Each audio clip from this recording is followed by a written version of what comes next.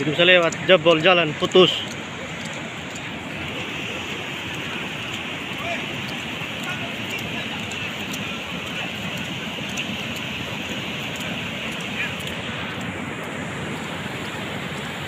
Sumba kembali berduka.